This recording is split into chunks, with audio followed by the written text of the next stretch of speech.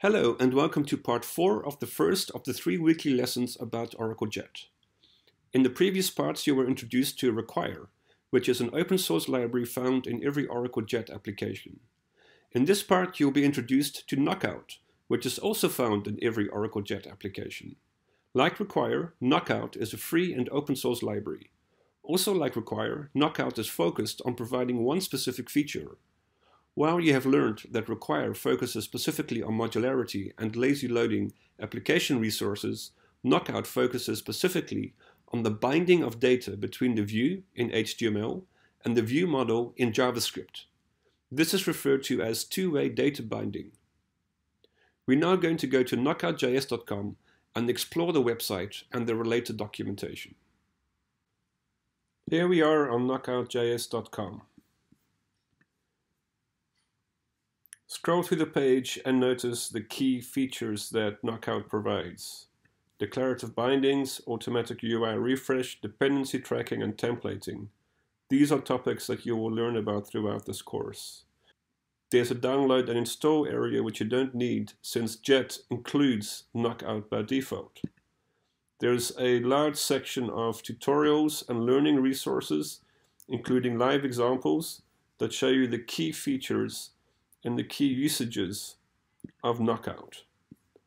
Notice the documentation section, also very detailed. Browse through it and learn from it. Go to the forum where you can ask questions and discuss the usages of Knockout and also the source of Knockout is available on GitHub. Knockout introduces an application architecture called Model View View Model, MVVM. In this architecture, you have three layers in your application.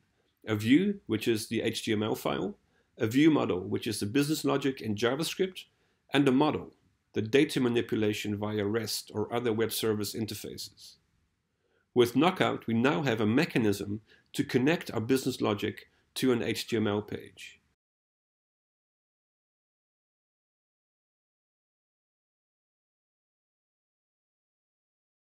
Let's create our first observable.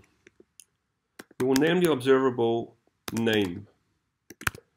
And this is how observables are defined by means of KO observable or KO observable array. Type KO observable and we will specify a default value. This is a property in Knockout. Knockout itself will observe the property and make sure to notify all places where this property is referenced.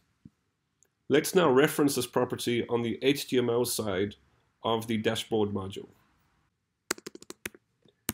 We create a new span element and we use the data bind attribute from knockout to bind the text attribute of the span element to the name property that we have defined in our JavaScript.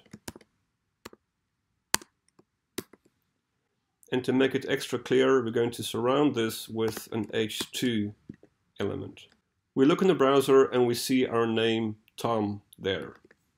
Now we can have more references to that same property, and all of those references will display the same value.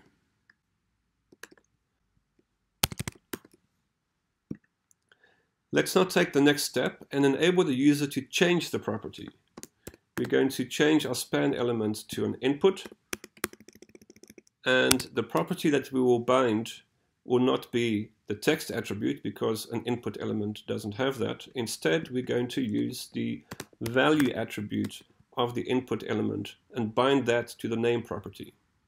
When the user makes a change inside of the input element, that change will mean a change to that underlying property, the KO observable with the name name. And the impact of that will be that these two span elements will automatically change as well.